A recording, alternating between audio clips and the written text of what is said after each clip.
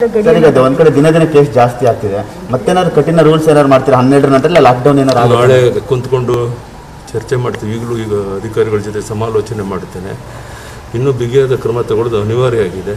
ಏನು ಯಾವ ರೀತಿ ಕ್ರಮ ತಗೋಬೇಕು ಅನ್ನೋದ್ರ ಬಗ್ಗೆ ಇವತ್ತು ನಾಳೆ ತೀರ್ಮಾನ. ಸರ್ ಈಗ ವಿಶೇಷ ಪೂಜೆ ಏನಾದ್ರು ವಿಶೇಷ ಪೂಜೆ ಸಲ್ಲಿಸಿದ್ರೆ ತಾಯಿಯನ್ನು ಇಷ್ಟೇ ಪ್ರಾರ್ಥನೆ ಮಾಡಿದ್ದು ಈ ಕರೋನಾದಿಂದ ಮುಕ್ತರಾಗಿ ದೇಶದ ಎಲ್ಲ ಜನ ನೆಮ್ಮದಿಯಿಂದ ಬದುಕುವಂತ ಒಳ್ಳೆ ಕಾಲ ಬರಲಿ ಅಂತ ತಾಯಿಯಲ್ಲಿ ಪ್ರಾರ್ಥನೆ ಜನತಾ ಕರ್ಫ್ಯೂನ ಯಾರು ಕೂಡ ಸರಿಯಾಗಿ ಪಾಲನೆ ಮಾಡ್ತಾ ಇಲ್ಲ. ಹೌದಮ್ಮ ಮಾಡ್ತಾ ಇಲ್ಲ.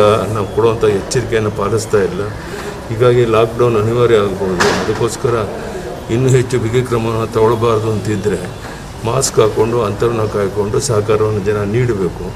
ಇಲ್ಲ ಅಂತ ಹೇಳಿದ್ರೆ ಕಠಿಣವಾದ ಕ್ರಮ ಅನಿವಾರ್ಯ ಆಗುತ್ತೆ ಅಂತ ನಾನು ಮಾಡ್ತೇನೆ. ಸರ್ ಆಕ್ಸಿಜನ್ ಸಮಸ್ಯೆ ಆದಷ್ಟು ಬೇಗ ಬಗೆಹರಿಯುತ್ತೆ. ಸರ್ ಸಿಎಂ ಮನೆ ಹತ್ರ ಬರೋದು ಪ್ರಯತ್ನ ಮಾಡ್ತಾ ಇದ್ದೇನೆ ಒಂದ್ ಕಡೆ ದಿನ ದಿನ ಕೇಸ್ ಜಾಸ್ತಿ ಆಗ್ತಿದೆ. ಮತ್ತೇನಾದ್ರು ಕಠಿಣ ರೂಲ್ಸ್ ಏನಾದ್ರು ಮಾಡ್ತೀರಾ? ಹನ್ನೆರಡರ ನಂತರ ಲಾಕ್ಡೌನ್ ಏನಾದ್ರು ಆಗುತ್ತೆ? ನಾಳೆ ಕುಂತ್ಕೊಂಡು ಚರ್ಚೆ ಮಾಡ್ತೀವಿ. ಈಗಲೂ ಈಗ ಅಧಿಕಾರಿಗಳ ಜೊತೆ ಸಮಾಲೋಚನೆ ಮಾಡ್ತೇನೆ ಇನ್ನೂ ಬಿಗಿಯಾದ ಕ್ರಮ ತಗೊಳ್ಳೋದು ಅನಿವಾರ್ಯ ಆಗಿದೆ.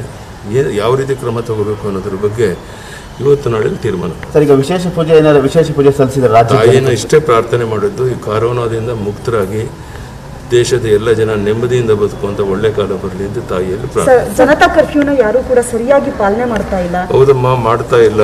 ನಾವು ಕೊಡುವಂಥ ಎಚ್ಚರಿಕೆಯನ್ನು ಪಾಲಿಸ್ತಾ ಇಲ್ಲ. ಹೀಗಾಗಿ ಲಾಕ್ಡೌನ್ ಅನಿವಾರ್ಯ ಆಗಬಹುದು ಅದಕ್ಕೋಸ್ಕರ ಇನ್ನೂ ಹೆಚ್ಚು ಬಿಗಿ ಕ್ರಮವನ್ನು ತಗೊಳ್ಬಾರ್ದು ಅಂತಿದ್ದರೆ ಮಾಸ್ಕ್ ಹಾಕ್ಕೊಂಡು ಅಂತರನ್ನ ಕಾಯ್ಕೊಂಡು ಸಹಕಾರವನ್ನು ಜನ ನೀಡಬೇಕು. ಇಲ್ಲ ಅಂತ ಹೇಳಿದ್ರೆ ಕಠಿಣವಾದ ಕ್ರಮ ಅನಿವಾರ್ಯ ಆಗುತ್ತೆ ಅಂತ ನಾನು ಮಾಡ್ತೇನೆ. ಆಕ್ಸಿಜನ್ ಸಮಸ್ಯೆ ಆದಷ್ಟು ಬೇಗ ಬಗೆಹರಿಯುತ್ತೆ. ಸರ್ ಸಿಎಂ ಮನೆ ಹತ್ರ ಬರೋದು ಪ್ರಯತ್ನ ಮಾಡ್ತಾ ಇದ್ದೇನೆ